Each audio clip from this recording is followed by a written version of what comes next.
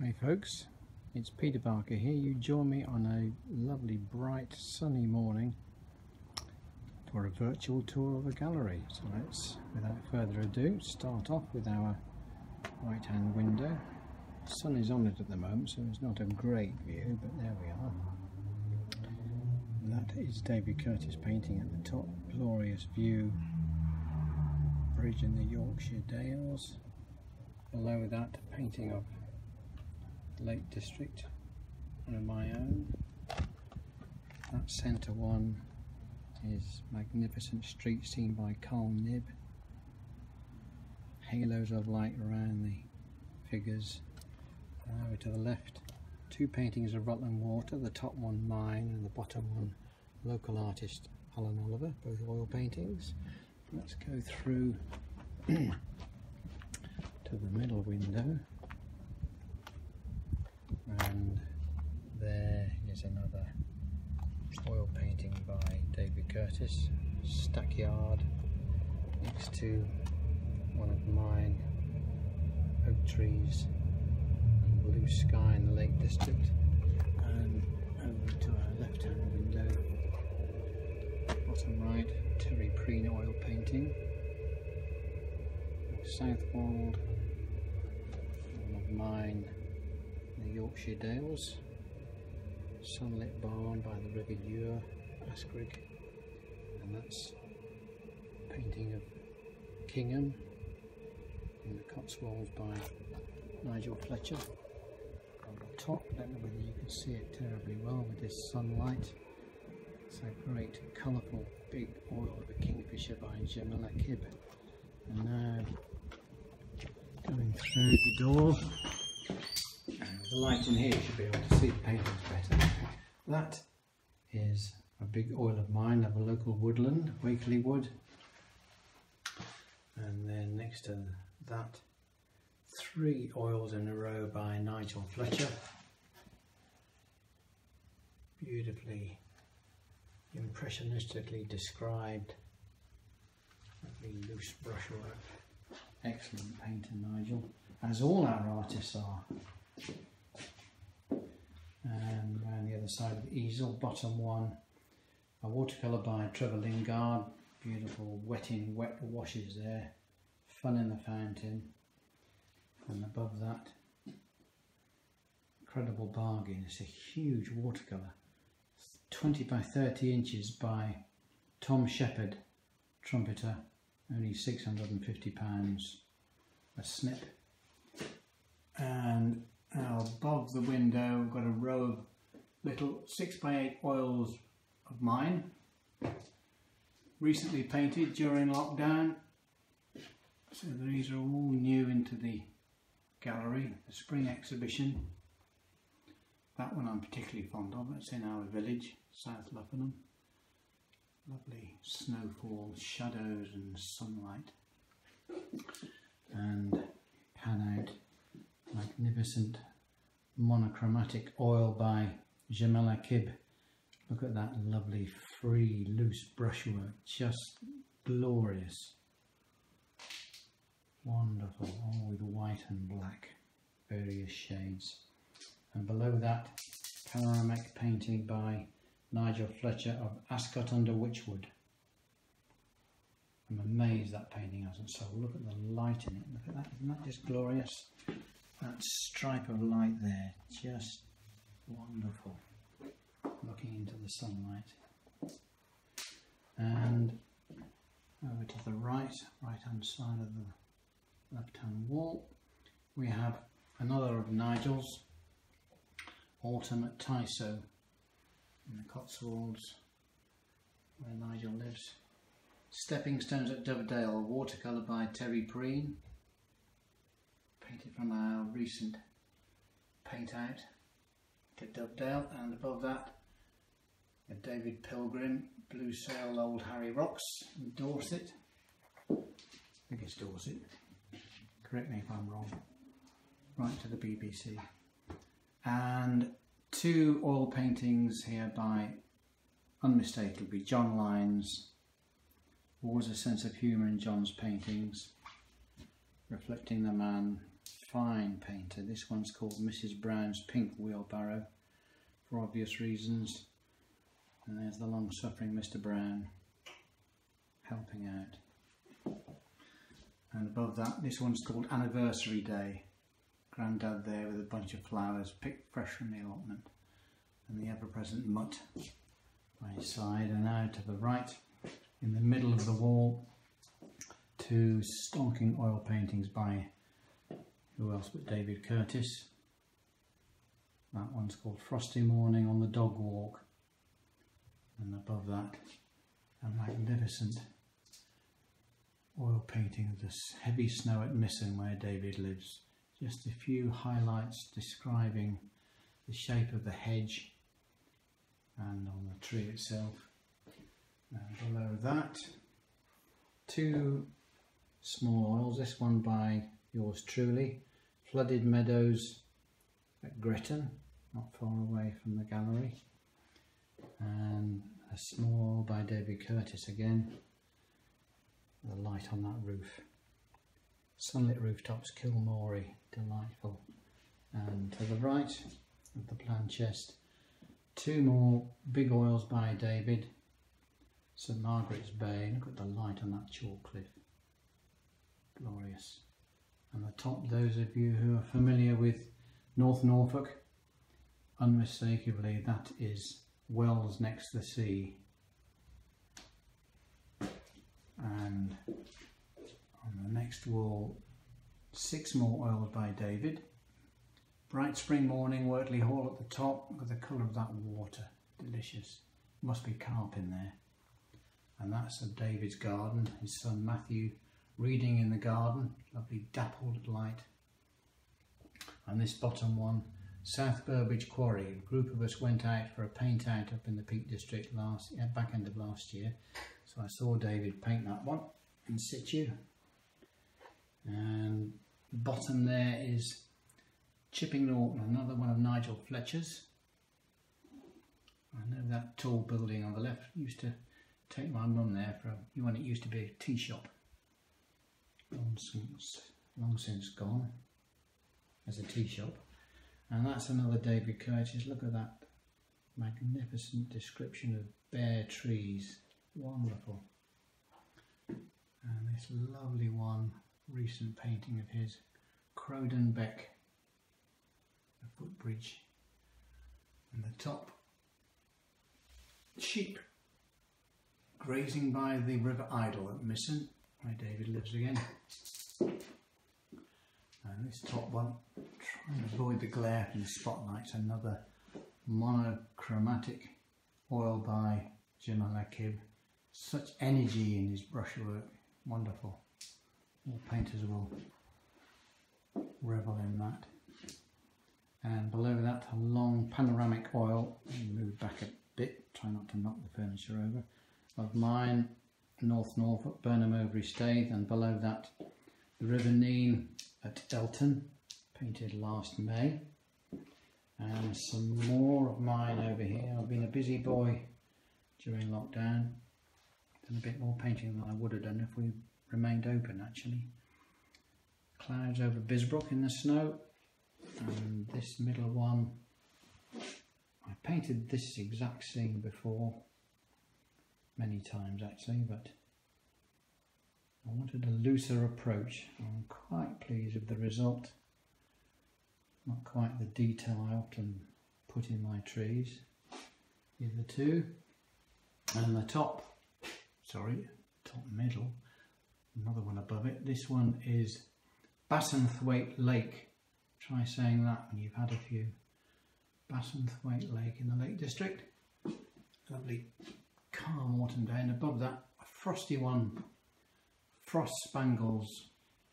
Did that one as a demo last year or year before. Must have been year before. And that's a pastel at the top of Thornham in Norfolk, sun rising. And this one, a big oil, 20 inches by 28 inches, quite big for me anyway. Did that recently. Lovely, frosty bridal way. Sun through the trees just had to be painted. Really enjoyed that one. Subtle colours. And below that, an oil by Graham Webber, Silverlight Pin Mill. Beautiful brushwork, so loose. And of the kitchen door, two Trevor Lingard watercolours, changing the guard, and this one's called Going for Gold for obvious reasons.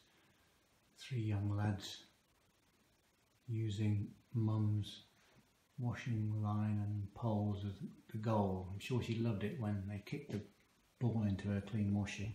Below that, a watercolour of mine, Water Newton, and another watercolour of mine, Hay Bales at Preston, just down the road. That's Preston in Rutland, not Lancashire. Uh, it's another delightful watercolour by Trevor Lingard. Music in the Square, such a loose brushwork, wet in wet. And below that, a new one, new watercolour by Robert Bashford, November Rain, Brimpton. Lovely feel, that one.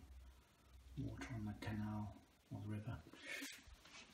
And over to the right here, just by the door, three oils by local boy Terry Preen, that's Uppingham at the bottom. South wall there, looking into the light. And France, Rochelle.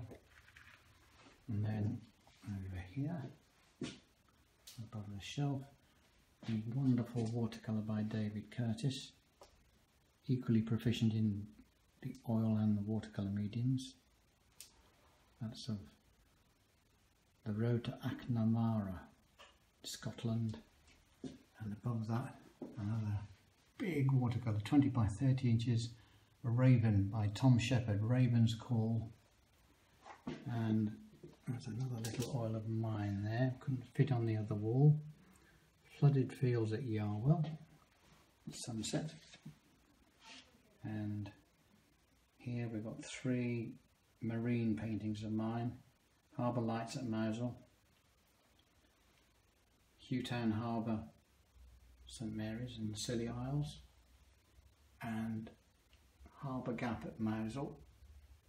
And now we go through into the smaller chambers. Here we have different wall colour, a darker colour which sets off light frames very nicely. Light frames or white frames, especially on a white wall, don't look terribly good. Now then, these are all Again, all recent paintings of mine. Linden at the top. That's another loose one of a village called Elsthorpe near Bourne. And Water Newton, one I did a couple of years ago. Beneath that is a watercolour by Richard Thorne from the West Country. And next to that, one of mine painting of the West Country, the River Teign in Devon, and then the local one there I did on on the spot of the Chater Valley. Just had to be painted. Coming back from playing golf, I grabbed my painting gear and rushed back, and the light was still good. And that one is unmistakably Tintern Abbey, unmistakably if you've been there. And at the top, one of my favourite recent paintings when we had all the heavy snowfall. This one's called Heavy Snow on the Square in our village in South Luffenham. That is by Jane walking past conveniently. Just a bit of life, lovely light, orange light from the window and the snow still falling. And over here, unmistakably, a Carl Knibb.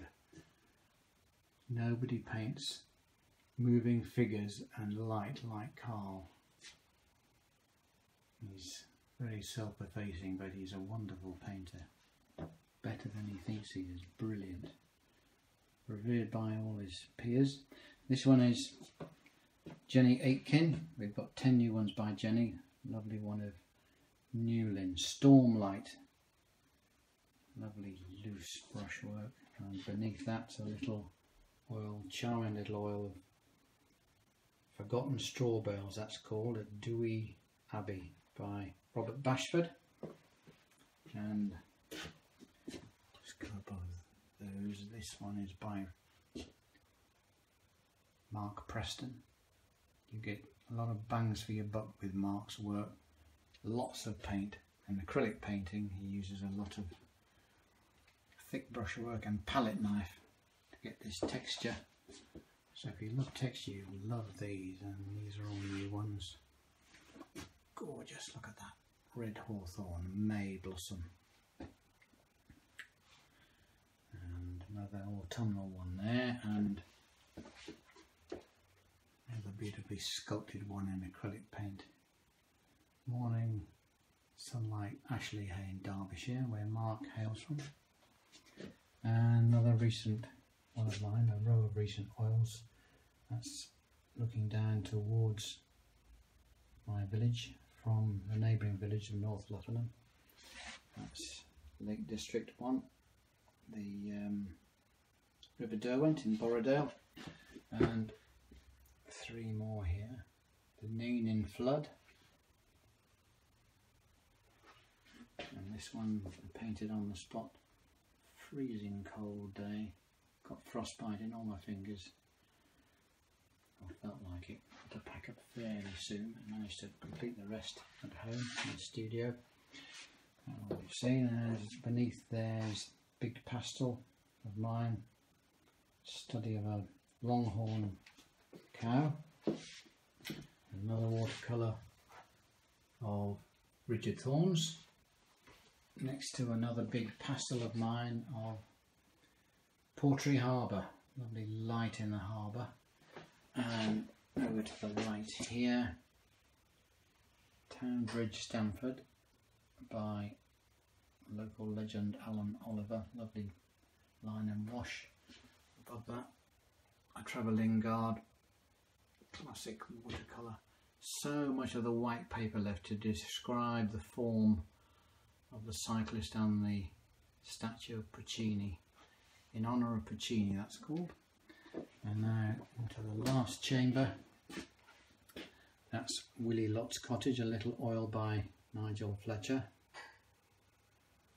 And this one is a loose oil of mine, very recognisable one of mine much looser brushwork, experimenting. We artists are always learning and experimenting. Uh, it's a small oil of the view just outside our house, looking down the hill. That's another local one I did last year, I think. And that's, oops, try and get away from the glare. That's Portree Harbour on the Isle of Skye. That's a Leslie Stone's small oil horses. And excuse the seat there. That's another recent one of mine, a loose, looser approach, slabby strokes rather than detail. Hay bales at Preston oil. And next to that, now knock 'em dead with that. If you like colour, you'll love this. Hummingbird by Jamel Akib, polar opposite of his monochrome paintings, uh, the jazz paintings in the other room. That one, a line and wash, another one of Stamford by Alan Oliver. And beneath that, next to the desk, a pastel painting of mine, Winter Grazers at Gretton Weir.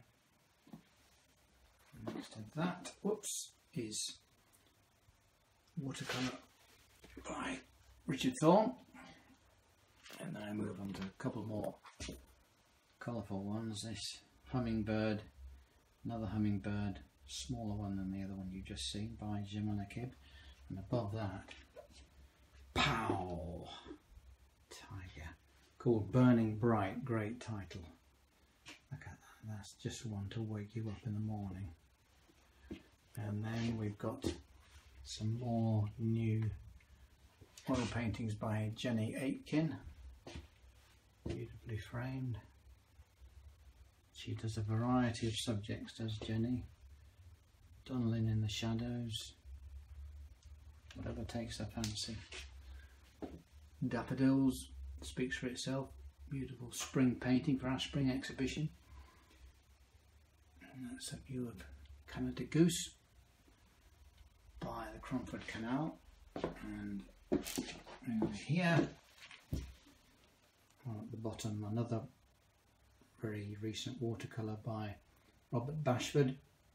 Robert loves painting puddles and he does it very well, as you can see.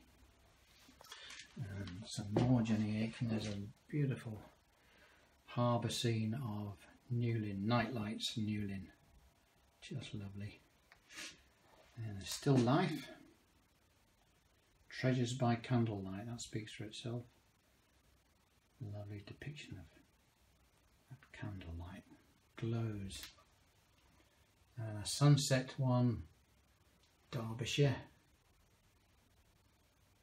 Loves painting to the light, does Jenny, and it shows. I think most of us do. Contrary your dramatic lighting. And this one is another watercolour by Tom Shepherd. Tom, great conservationist, loves painting birds, animals and humans. There's Kingfisher. And next to that, a pastel by Alan Oliver, Rutland Water again. And this one of Jenny's, I can't see this lasting long, so if you like it, give us a call quickly, it'll go. Beautiful painting of daffodils in Cornwall against the lowering sun. And the last two paintings, another one of Jenny's, Tide Rolling In at Mawgan Porth, Cornwall, and above that, a fabulous Carl Knibb painting of cattle with his trademark halo of light around them. Gorgeous. So there we are. That is a complete tour of the gallery. Hope you've enjoyed that. You really need to come in to see the work. We've got some really superb paintings, some of the best painters in the country. But they look an awful lot better in real life than on film. So hopefully we will see you soon. We're open every Friday and Saturday, 11 till 5. So do pop in. Look forward to seeing you. Thanks for looking. Bye bye now.